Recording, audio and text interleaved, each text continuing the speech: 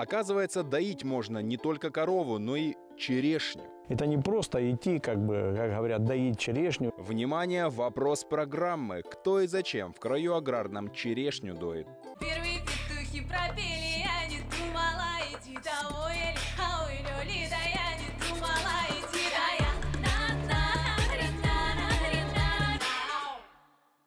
Здравствуйте, это программа «Край аграрный». Сегодня поговорим о том, что крепкое сельское хозяйство – это прежде всего крепкие семейные традиции в его основе. И вот что покажем. Наверное, все-таки с генами это любовь к нашей земле. А земля отвечает взаимностью. Расскажем, как темрюкские лиманы этой весной сберегли для фермеров урожай черешни и о том, как ее правильно убирать. Я считаю, что вообще в каждом растении есть что-то уникальное. Даже если их тысячи сортов и видов под одной крышей, семейное дело курортно-эстетического значения. Австралийские раки приедут на ПМЖ в Кореновский район, а в Приморско-Ахтарском – дуэт осетровых. Новости края аграрного. И рассказ о том, из чего рождается хорошее молоко. Вот это комбинат кукурузка.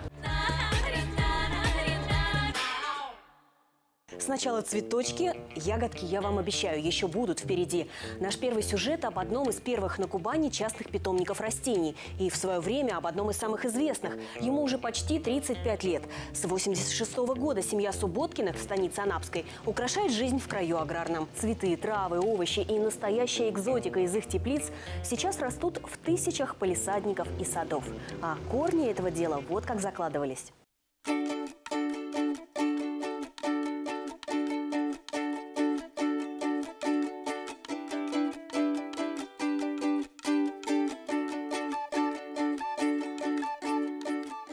Высоты птичьего полета кажется, что на окраине станицы Анапской великан расстелил гигантский пестрый ковер. Какие только цветы и цвета не переплелись в его узорах. Здесь и многолетние травы, и декоративные культуры, и аппетитная экзотика, и сочные краски однолетников. Обрамляет этот ковер бахрома из ампельных петуний в подвесных кашпо. Колышутся на ветру. А сколько всего еще спрятано под крышей огромной теплицы. Свой питомник семья Субботкиных бережно выращивала много лет. Все началось, когда переехали из средней полосы России в 86 году. И вовсе не с цветов. На кубанской земле глава семьи нашел для себя интересное занятие. Увлекся виноградом, все было очень быстро, скоротечно.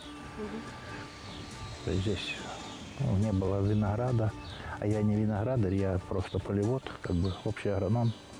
Ну, что-то я увлекся виноградом. За, за этот год собрал коллекцию там, 80 или 90 сортов винограда. Вырастил саженцев в первом году 35 тысяч штук. И поехал продавать по краю. Саженцы хорошие были, помню, продавались. Там женщины-виноградари с подходили. И Когда увидели мою корневую систему, там, ну, я пилочек там добавлял на грядках, там все. Они говорили, такого быть не может. Они привыкли подлом сажать там. Ну, Обрезают до конца. И подлом, чтобы не было здесь корни, когда развернул. Ну, было там. А вообще-то начал я не с винограда, а с томатов как раз, то есть, который привез оттуда. 400 с лишним сортов помидор. Вот это я дал сразу анапчанам. Желтые, черные, белые, полосатые. Там, ну, 400 сортов это много. Питомник рос вместе со страной. Свое дело оформили в 87-м, как только государство разрешило гражданам работать самим на себя. В начале нулевых, благодаря интернету, стали поставщиками в наш край импортных саженцев из Европы. Тогда это было, если и было, но только у любителей.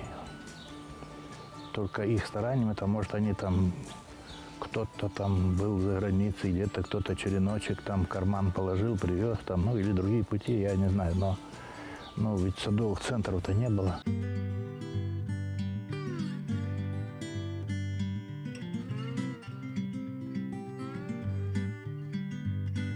И семья Субботкиных росла вместе с питомником. Пятеро дочерей, двое сыновей. Теперь есть и внуки. Питомник – центр притяжения и приложения сил для многих из них. Вот, например, Елена отвечает за однолетние цветы. С детства опыт нарабатывала. Бываем и вверх ногами в детстве сажала, сажали корешочками наверх, было такое тоже. Э, Ну, так-то сейчас уже не вспомню. Сейчас уже вершки, корешки. Уже отличаем. Отличить один сорт от другого неопытному человеку без шуток здесь будет сложно. Очень много сортов э, однолетних, плюс еще у всех сортов есть виды какие-нибудь разные. Получается, их больше тысячи, наверное, наименований будет. Посмотрите, есть петуния кустовая, в основном это как бы классика в однолетней культуре. Берем сорта, которые пользуются популярностью, и плюс, конечно же, то, что самим нравится, экспериментируем точно так же.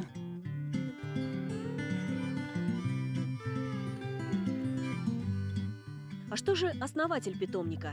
Сердце его, как и много лет назад, отдано овощам и редким растениям. Сто процентов. И только к овощам сейчас. Потому что я уже, ну, без комментариев. Просто люблю. Вы смотрите, какое растение. Ну, это цифомандр тоже у кого-то есть. А вот называется Мертензия маритима. Это устричный лист. Один листик рестораны принимают там по 35, по 40, по 50 центов. Один листик. А почему устричный? А он устричный, вкус у него. Или же вот есть такое растение, вот смотрите, вот это называется солянка сода. Ну, это по латыни. Или же агретти. Это в Италии в марте месяце все устремляются на рынки, потому что появляется вот эта вот еда, и люди просто разрываются. В Лондоне тоже 3-4 месяца сделают заказ в рестораны, когда появляется, начинают кушать. Этот уголок теплицы – маленькая сокровищница экзотических растений. Здесь и целебная бразильская мята, и батат, и необычные огурцы, и даже крысиный хвост. Так зовут в народе этот странный редис. В салат режут не корешки, а стрючки. Сочные, терпкие и полезные. Я считаю, что вообще в каждом растении есть что-то уникальное.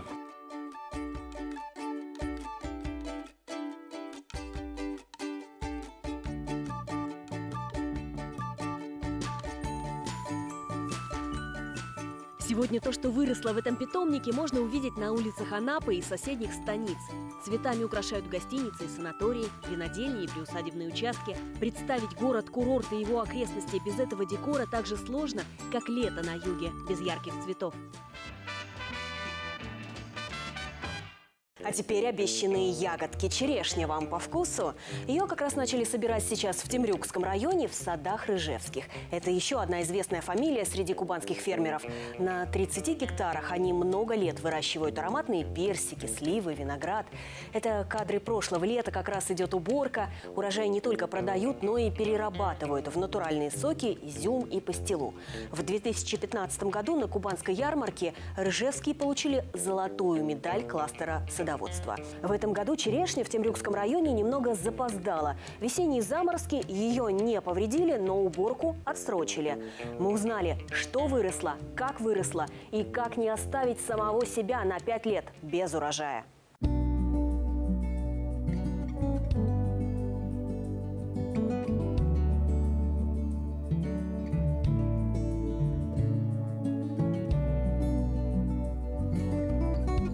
Видите, на Кубани в этом году там Краснодар, за резкого континентального климата э, резко наступает тепло, ну и возврат заморозков, то наши лиманы и море, они э, нивелируют вот эти перепады. То есть у нас цветет все от 5 до 2 недель позже, чем в Краснодаре. За счет чего? За счет того, что за зимний период море остыло, и оно так резко не нагревается. То есть у нас цветение смещено от Краснодара из-за того, что воздух постепенно нагревается вместе с морем. Поэтому мы вот эти возвратные заморозки, мы их проходим, как правило, вот, в большинстве лет. Ну, бывают, конечно, бывают рецидивы, но последние вот 6 лет э, практически как бы на нас морозы сильно не влияют. Это почему, вот, ну, видите, она вот э, залечилась. Ну, что было? Был у нас дождик один, ну, как сказать дождик, это даже не дождик, можно сказать, а, ну, намочило так хорошо, как сильная роса. И все-таки из-за того, что влаги недостаточно, деревья сразу в себя, чтобы ну, себя спасти, как говорится, они впитали, и поэтому вот вообще как бы Тамань отличается по вот э, вкусовым качествам нашей продукции. Почему? Потому что, значит, у нас э, сумма э, температур эффективных очень высокая, поэтому накопление сухих веществ и сахаров, оно самое оптимальное. То есть очень сладкие. Эти сорта мы вообще получили, наши это кубанские, они м, выделены, э, опробированы на Крымской опытной станции. На этом участке у нас э, четыре сорта основных, которые мы выбрали. То есть они что? Они соответствуют товарному качеству, вот, вкусовые качества, товарные наиболее приспособленные под наши климатические условия. Это вот сорт ранний, на котором мы находимся, сорт «Восход». Вот. Есть, значит, у нас еще два сорта более ранне-средних. Это «Василиса» и «Талисман». Вот. И среднепоздний сорт – это крупноплодная. Особенность агротехники – мы перешли на формировки, которые, значит, более практичное значение имеют э, для э, товарного использования вот черешни. Видите, это вот называется вот два ряда. Вот сорт «Восход» у нас на формировке испанский куст. Она в виде куста. То есть здесь не надо использовать большие лестницы для того, чтобы сорвать этот урожай. Все находится в зоне доступности. Ветви мы можем наклонять. Некоторые сорта мы же изучаем. На этой формировке не все сорта хорошо плодоносят. И вот сорт «Восход» на других формировках он тоже не очень э, экономический, поэтому он, значит, э, вот мы для этого сорта именно подобрали эту формировку. Все остальные сорта у нас немножко на другой формировке, она называется KGB. Видите, здесь немножко другая. Вот она формировочка. Э, Изначально для нашей зоны мы разработали 20 вот таких 25 побегов видите, плодоносных, на которых сосредоточен весь урожай. В чем особенность этой формировки?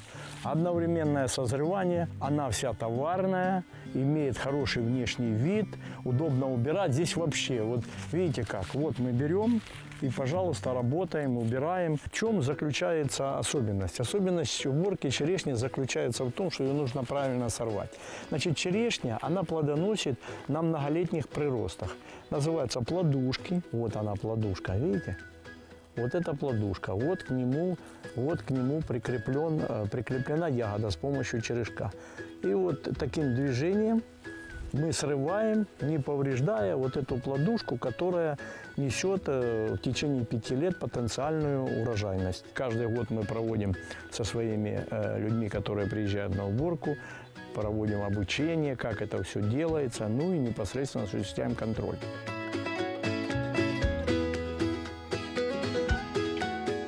Наверное, все-таки с генами это любовь к нашей земле, к нашей родине, Кубани, России.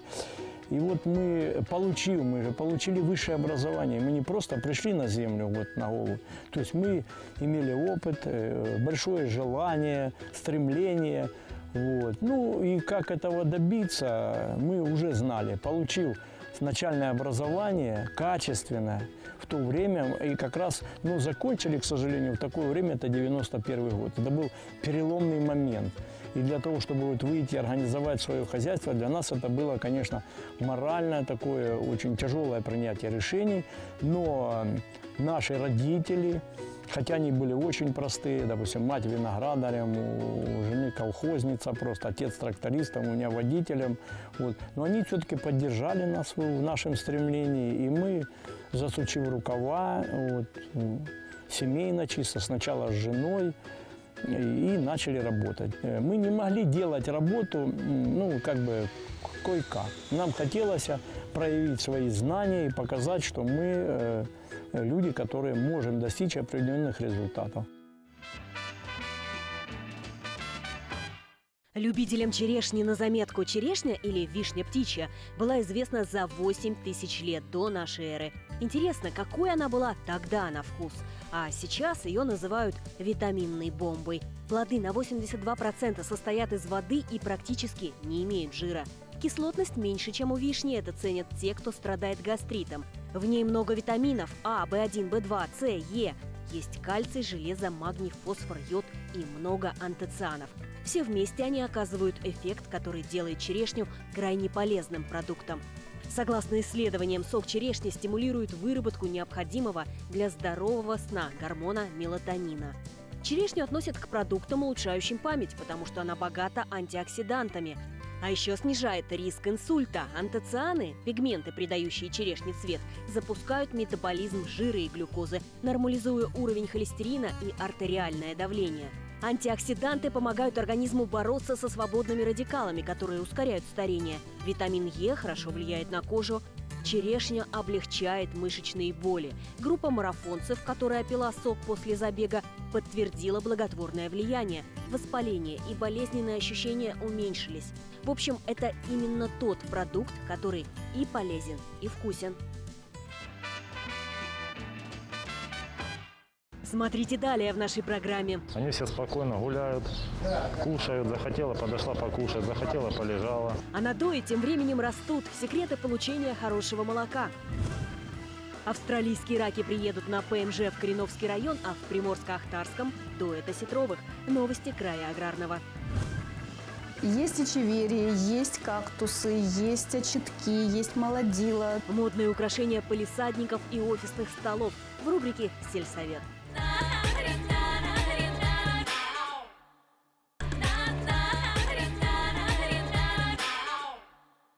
Еще интересного в садах, полях и даже в водоемах края аграрного происходит, расскажем прямо сейчас в обзоре новостей. Мега-холодильник для фруктов построили в поселке Садовом в Ейском районе. Он может вместить 9 тысяч тонн. Пока ввели в эксплуатацию первую очередь ровно наполовину заданного объема. Хранилище для фруктов разделено на 48 камер, есть сортировочная и фасовочная линии. Теперь садоводы могут увеличить производство, не опасаясь, что хранить негде будет. Отсюда урожай в любое время по оптимальной цене можно будет отправить в любой регион России. Краснодаре аграрии готовы к уборке озимой пшеницы. В нашем мегаполисе, в отличие от многих, есть десятки фермерских хозяйств и неплохие посевы озимых. Из-за непогоды весной урожай зерна может сократиться. Потери в разных хозяйствах города составят от 10 до 30 процентов, поэтому аграрии отнеслись к уборке вдвойне ответственно. 81 комбайн и еще десятки единиц сельхозтехники тщательно проверены, подготовлены и вот-вот выйдут на поле. Приморско-Ахтарском районе фермеры дуэт осетровых. Именно так называют этот процесс. Черную икру собирают для воспроизведения популяции. Браконьеры слишком сильно сократили численность ценных пород. Восстанавливают поголовье в подобных аквахозяйствах. Почти 3 килограмма икры заложат в инкубатор для разведения мальков. После выпустят в закрытые водоемы. В Кореновском районе планируют выращивать австралийского красноклешневого рака. Будет подписано соглашение по строительству фермы в хуторе Пролетарском. Срок реализации проекта – год. Этот вид рака считается одним из самых крупных, вкусных и экономически выгодных для разведения. Моя коллега Анастасия Боровикова только что из этого района вернулась. Раков там пока не наблюдала, зато познакомилась с работой другой современной фермы – молочной. Она входит в состав научно-производственного хозяйства «Кореновская». Молока там получают немало и большую часть перерабатывают в том же районе на известном комбинате. Так что многие из нас его наверняка пробовали. А вот кому надо сказать спасибо за вкусный продукт.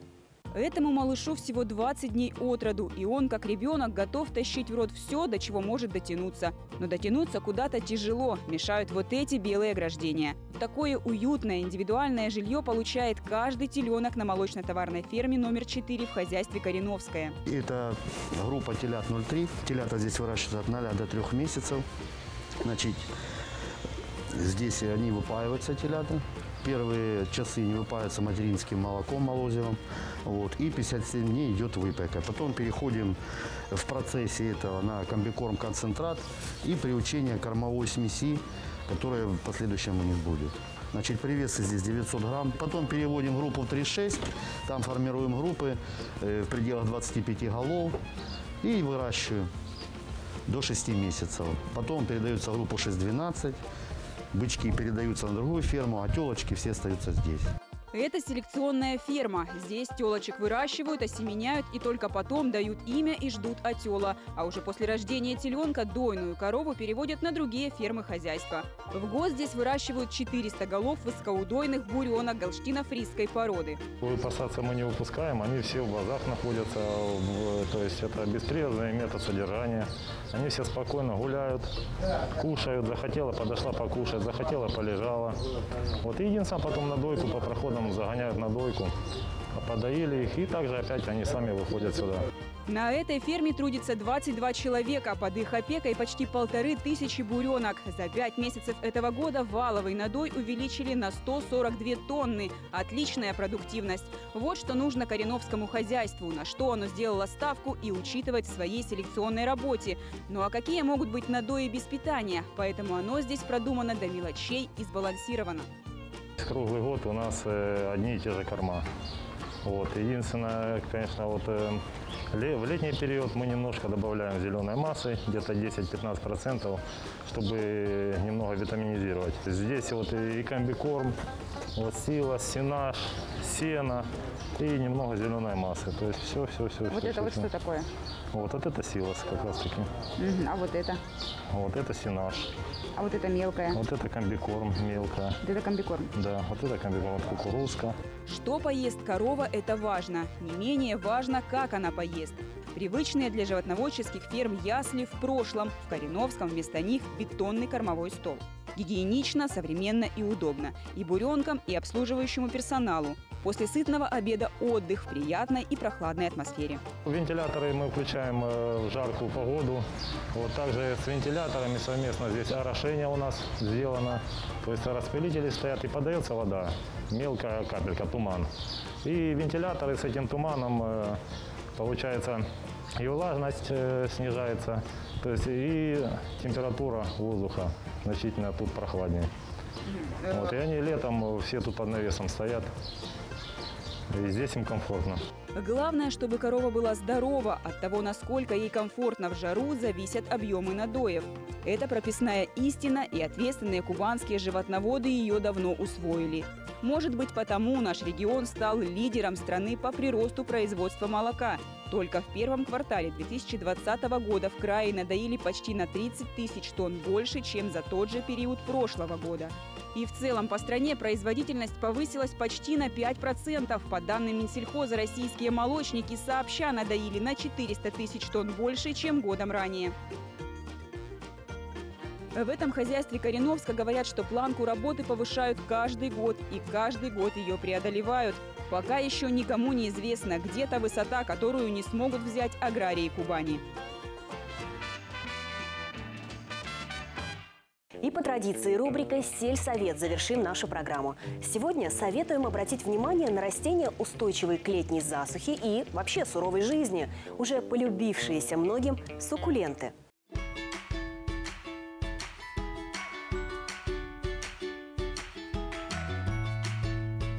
Суккуленты ценят за то, что они неприхотливые в уходе, э, миниатюрные.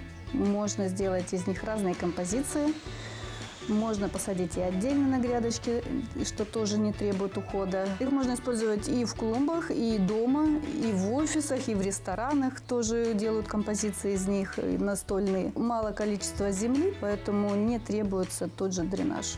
Если вы делаете композицию, э, закрытую кашпо, тогда нужен дренаж. А в горшочках обычных не нужно. Есть эчеверии, есть кактусы, есть очитки, есть молодила. То есть их сейчас очень большое разнообразие э, и форм, и окрасок, и всего остального тоже. Вот разнообразные кактусы, которые тоже цветут очень красиво по-разному. Они все по-разному цветут.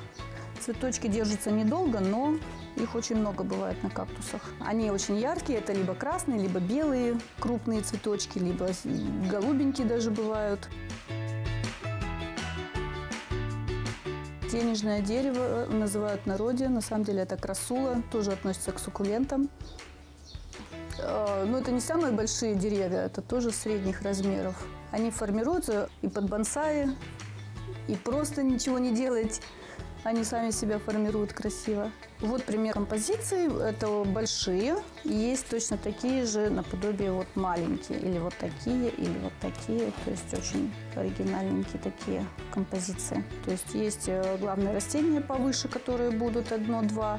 А остальные растения уже либо ампельные, либо стелющиеся, либо какие-то ползучие более вспомогательные. Все эти растения объединяют то, что они засухоустойчивые, солнцелюбивые и неприхотливые.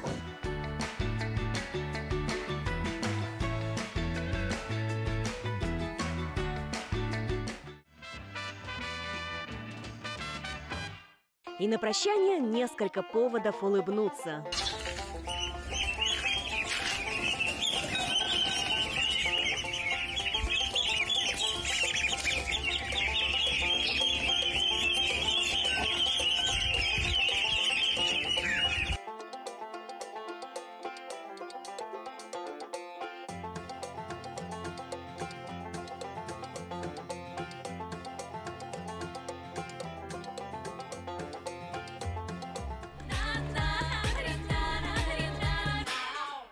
А сейчас ответ на вопрос программы «Что значит доить черешню?» Кто и зачем в краю аграрном этим занимается? Так делают только нерадивые сборщики урожая. Люди, которые подходят, вот смотрят веткой и начинают ее просто как бы обрывать, не глядя на э, вот эти плодушки там и так далее. То есть они скорость увеличивают, производительность. Вот сегодня они заработали заработную плату, но мы поте- потеряли потенциально урожай на 5 лет. Давайте без потерь. И до новых встреч в эфире.